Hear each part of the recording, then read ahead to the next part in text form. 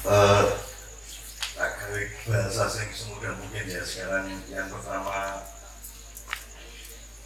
Rasul dan Nabi ya.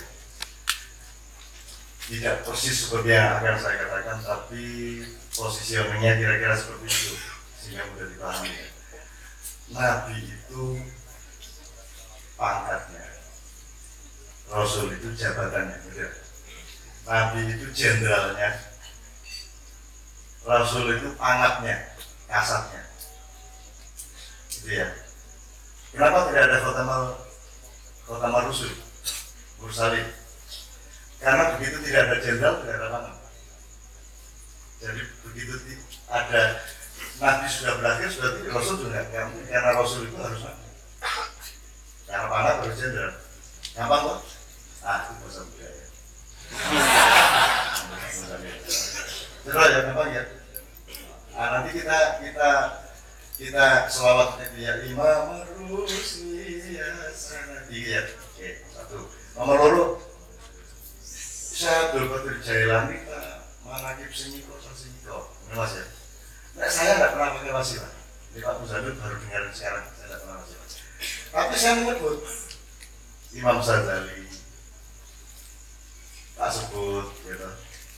Eh, Syekh Abdul Qadir Jailani tak sebut Sunan Ampel tak sebut, Sunan Giri tak sebut, Sunan Kalijogo tak sebut. Aku yang ngatur nuwun Diterti nang ilmu iki oleh beliau-beliau Nah, matur nuwun saya itu kan dinilai positif oleh Allah. Sehingga memudahkan saya untuk mendapatkan kabul doanya Allah. Bukan saya berdoa pakai makolah.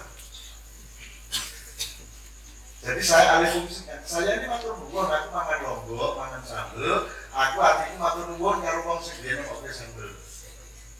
Solo gabung ke lombok, gabung ke karo gambah, karo kuyak, karo terasi itu kan penemuan luar biasa. Ono terasi itu kan itu. Gitu loh. Nah, saya matur nuwun. Dengan matur nuwun, Allah juga berterima kasih karena barang siapa menolong Allah Allah akan menolong kita barang siapa akan bersyukur kepada sesamanya. Maka Allah juga akan bersyukur kepada kita. Karena Allah itu maha bersyukur. Allah asyakur gitu oke mas ya jadi di mana bingung? Di mana bingung? Pilih sakal mulai matur nuwun ya kok angel temen bedanya mengira dong malakit A disebut ABC malakit B disebut DEF ayo sebutin ABC DEF beres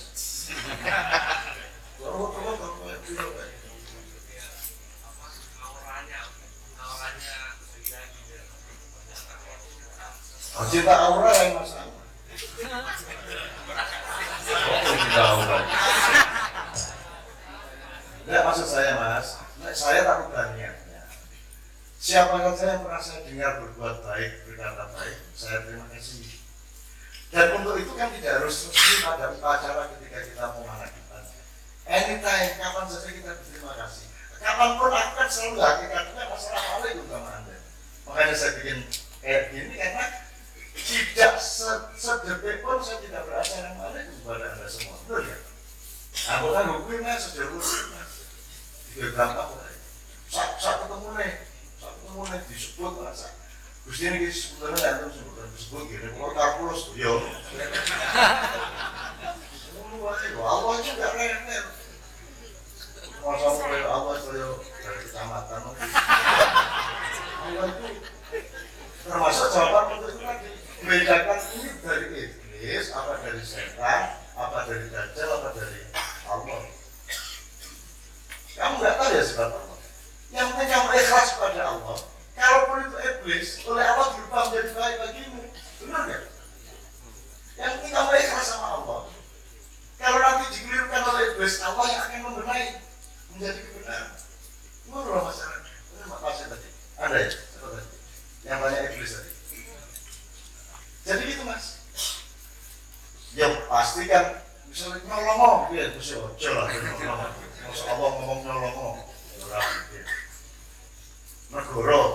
Memang orang negara. Artinya duitnya ini negara. Negara, ya. Akhirnya banjir. Menurut saya itu mas. hati mulai keras oleh Allah. Kalaupun yang bisiki kamu iblis, Allah akan mengambil alih bisikan iblis itu menjadi baik bagimu. Itu namanya bapak rumah itu, ibu rumah itu orang kita rumah. Logis kan? Lebih kita mas. Misalnya aku maling, biasa sebelah ya. Benar-benar orang maling,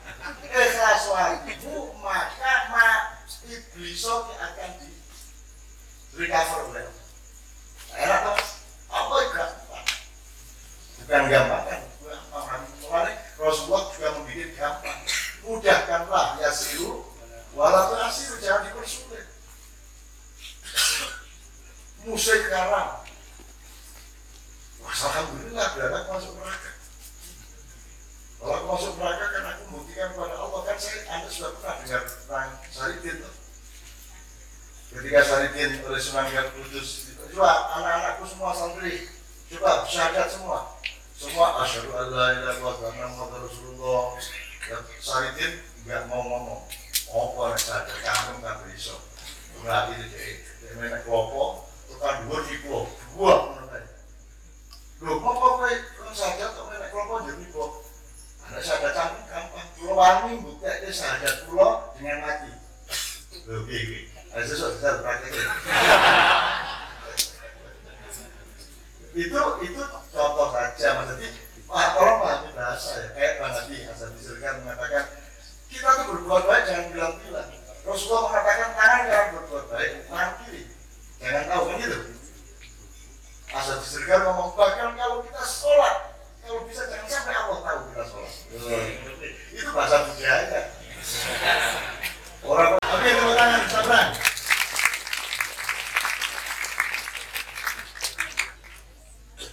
Oh, nanti. Assalamualaikum warahmatullahi wabarakatuh. Dari saya punya pribadi sama Nabi Hidir. Sempat bikin saya putus asa hampir tiga bulan. Dari dulu kan saya, yo, sangat kutukan anak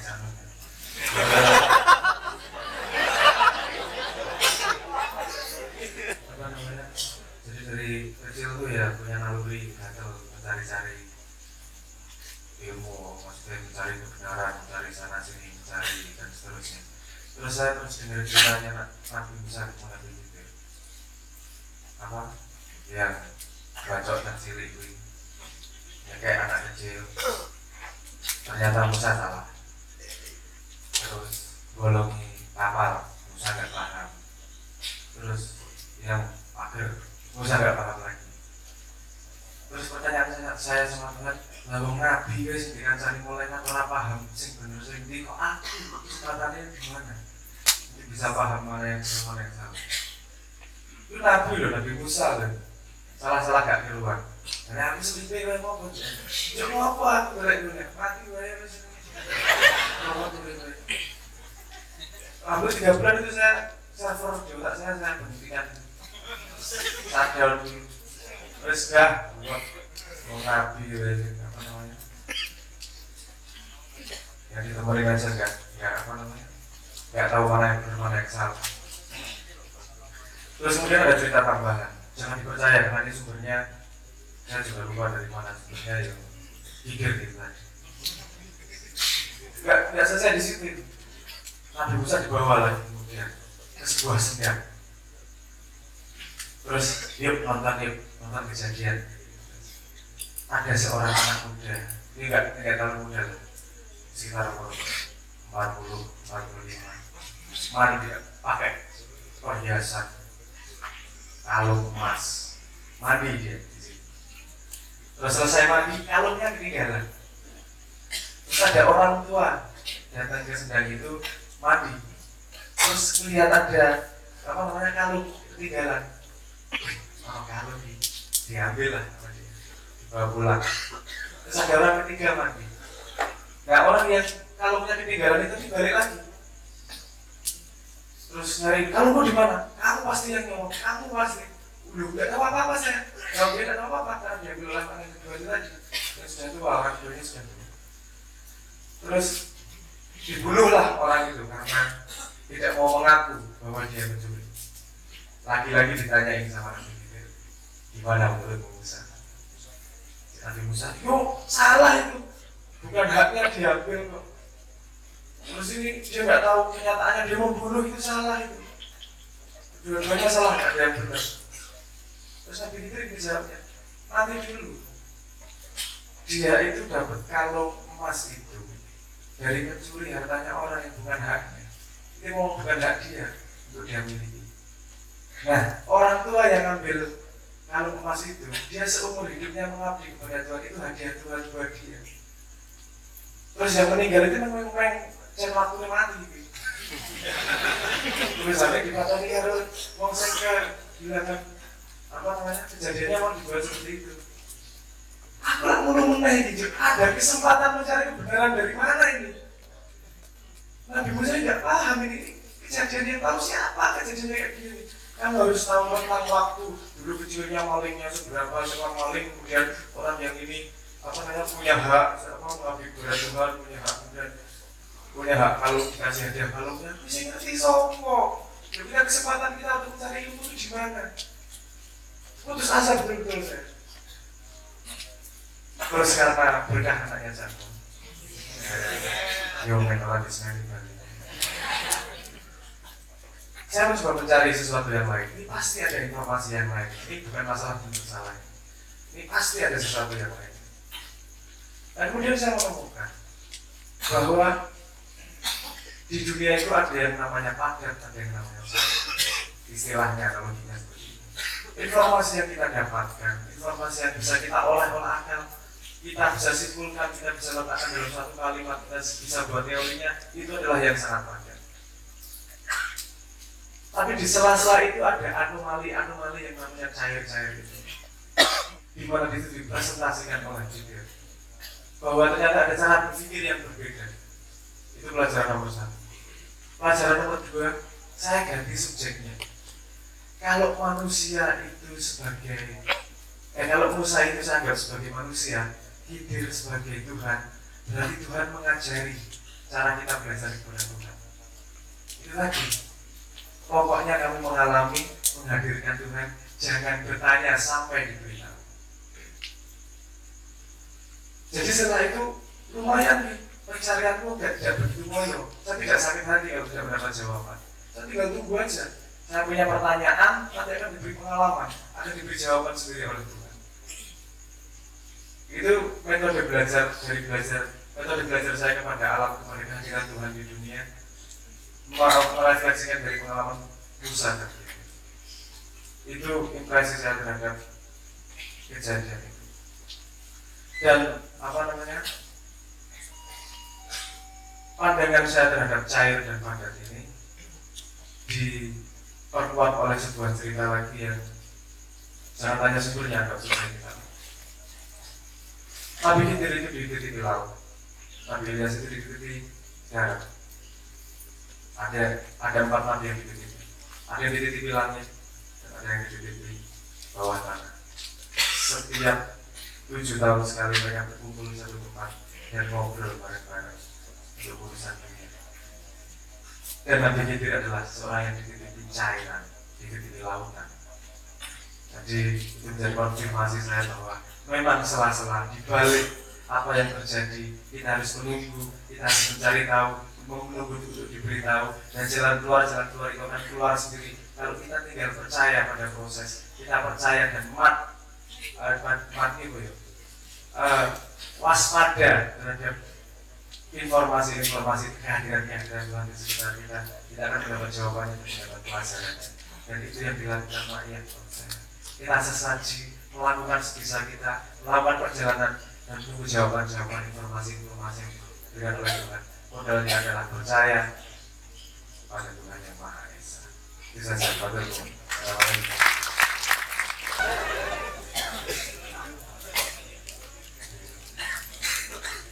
Baik, terima kasih. Sudah begitu saja.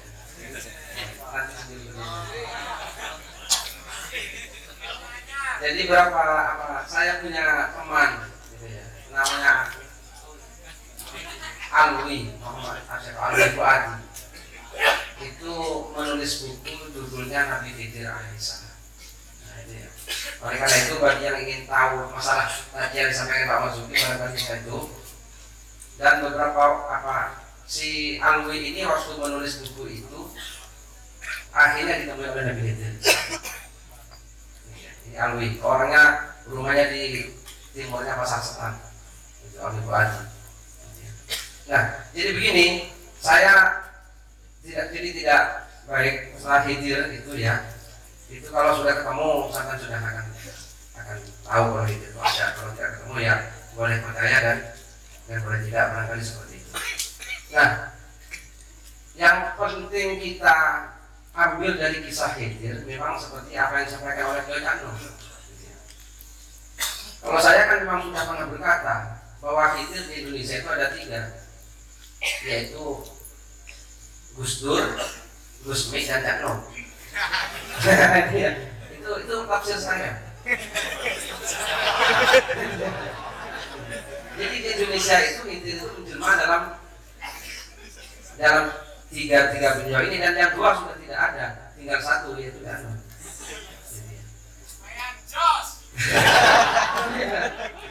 Jadi mana saya menemukan sosok Hidir itu di tiga orang itu. Jadi Hidir dalam apa yang disampaikan sebetulnya Gusti Allah itu terpaksa. Ya. Maaf pada petik ini, khawatir ada pendengar yang mengkritik saya. Karena kemarin ya loh, saya disidang oleh seorang. Om Semil, ya. Sampai itu kan kiai. Ya, bukan.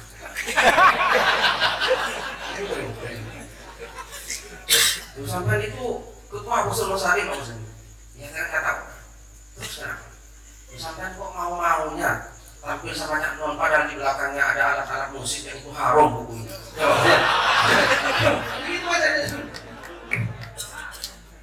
Itu aja. Itu kan haram hukumnya. Alat-alat musik itu minal muharramat alatul malah. Coba, ini mau dibagaimanakan kalau saya begini. Nah, jadi jadi itu karena ini pakai pola pikir Musa. Jadi pakai pola pikir Musa. Pakai pola pikir Musa. Kalau pola pikirnya pola pikir Musa, ini alatul malahi, alat-alat musik adalah. Tapi tapi kalau pakai pola pikir hidir, jangankan alatul malahi yang membunuh orang saja itu. Ya enggak?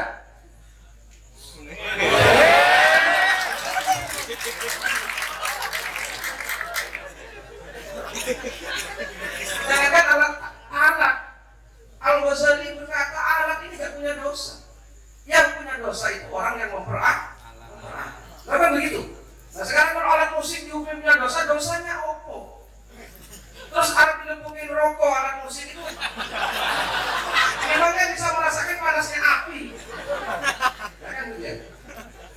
Kan tergantung user.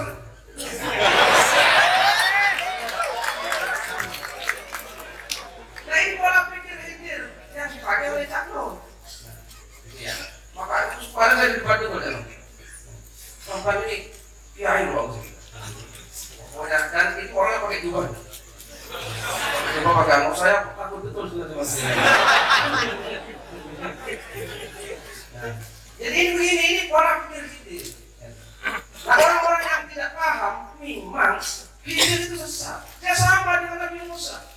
Ketika Khidir itu membolongi perahu, Nabi Musa langsung akhirat tahal itu ribu akdah. Lalu kita syai'an nimr langsung protes.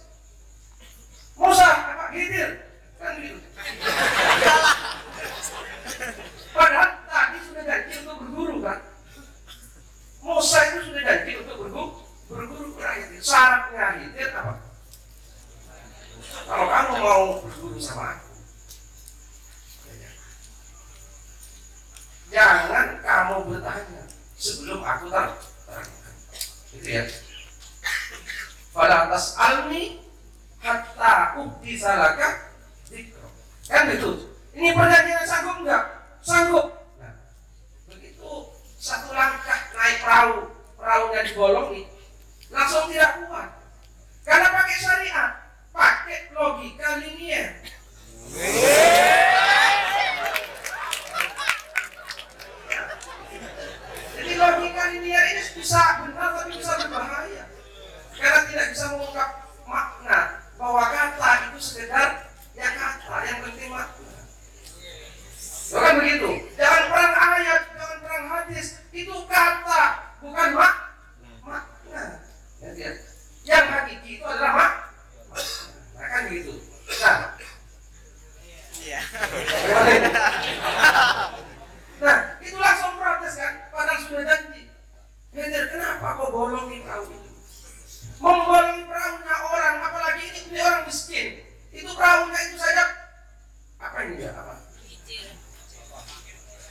kredit ini bukan miliknya kredit kredit masih utang di depok sana tuh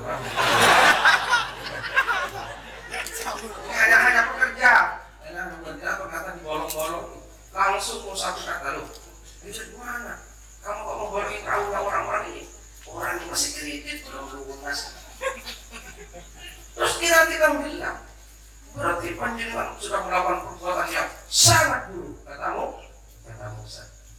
apa jawabannya Siti? Loh. Iya janji mukan. Janji mukan ojo takon satu kita. Oh iya yuk. Baru ingat Musa. Nah sekarang yang punya pola pikir seperti ini di Indonesia ya tiga orang itu menurut saya. Kecuali ada yang lain masuk konsultasi barangkali. Ya. Jadi siapa? Gus Dur, Gusmi. Kenapa Gusmi saya katakan seperti itu? Karena Gusmi itu setiap seorang kiai, seorang gus dikasih mandur kan tapi siang malam hidupnya di diskotik. Siang malam di diskotik. Nah bagaimana mau menafsirkan kalau tidak pakai logika hidir? Gitu. Ya kan? Hanya logika hidir ini yang bisa menafsirkan seorang Gusmi. Jadi kalau besok sampai kok ketemu saya masuk di mana itu?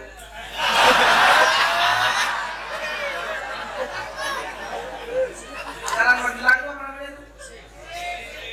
Siapa yang Sarkem Nah, pada itulah saya karena tidak pernah ini, saya tidak tahu namanya saya. Jangan langsung dulu Pak Musabil ini kamu sih. Nah, ini sed- sedang pakai logika hitir.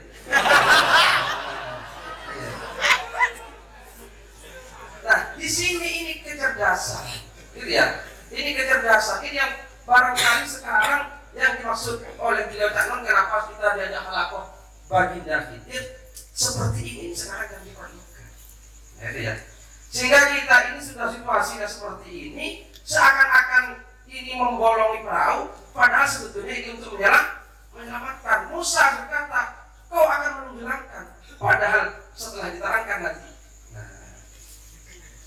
itu kenapa saya bolongi kan begitu, ya kan? Kenapa saya bolongi? Karena kalau tidak saya bolongi, bagaimana? Akan dirampas di depannya ada seorang raja yang dolim yang dia itu akan mengambil perahunya siapa pun kalau dia mau.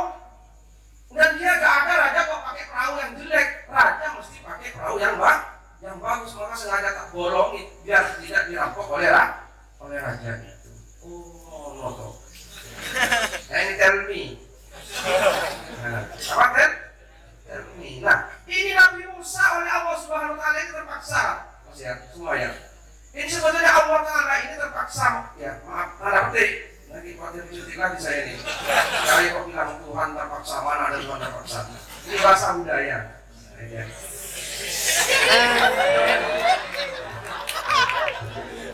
bahasa budaya sebetulnya Allah itu tidak mau menceritakan tentang Khidir sebetulnya tidak mau karena ini Khidir ini memang pasukan rahasia mana ada pasukan rahasia kok di ya apa dipublikasikan apalagi dimasukkan di True TV ya kok ini pasukan rahasia kok maka tadi kalau kontroversial namanya siapa alamatnya mana akun Facebooknya apa nah, itu ya Twitternya apa oh ini pasukan dibuka agak rahasia lagi. Maka kalau mau tahu hitir temuilah di tempat rahasia. Gitu. Oh iya. Masa mau hitir kok mau di tempat keramaiannya rahasia. Ini, urusan rahasia. Maka ya jadi maka rahasialah anda. Insya Allah bisa ketemu dengan itu gitu ya orang yang bisa ketemu dengan itu wali-wali itu biasa umum sama itu karena para wali-wali itu tahu jalan-jalan sembunyi itu tahu. Jalan-jalan sunyi itu tahu. Nah itu ya. Maka sebetulnya kan non di agama iyahan ini sebetulnya tersiksa tapi nggak tahu. Itu ya. Ini hanya terpaksa juga dan mengadakan ma'iyahan begini ini. Jadi ya. Ada harap begini iya. Jadi jangan harap malam ini dia datang di sini. Gitu ya. Ini ya, ini jalan-jalan adalah rahasia yang memang sulit dipahami termasuk dengan yang menyidang saya itu. Itu ya sulit sulit dipahami. Itu pola pikir siapa? Khidir ya.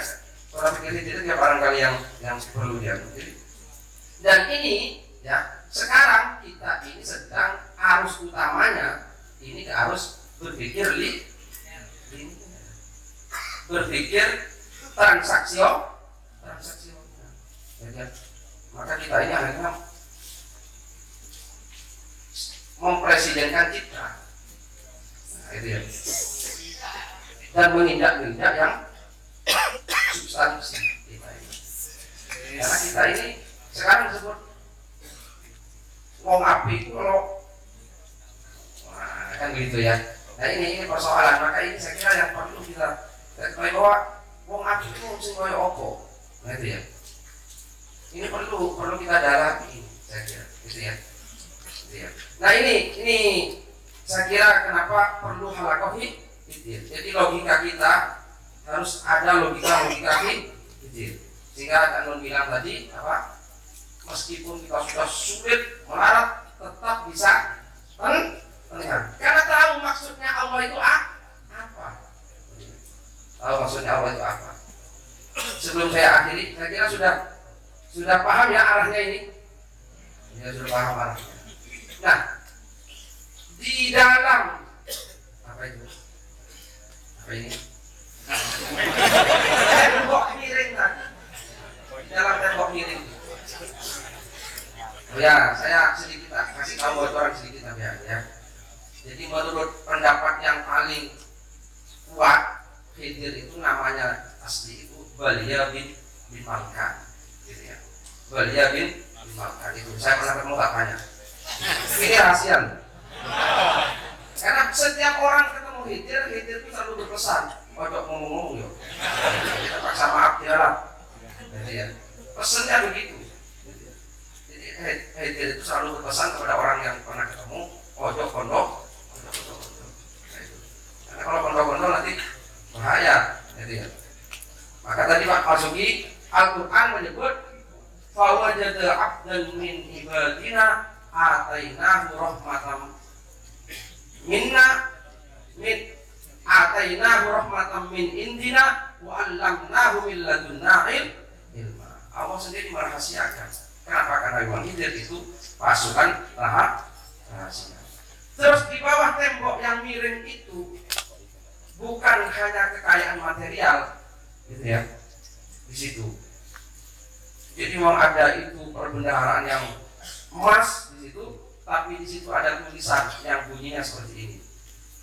بسم الله الرحمن الرحيم لا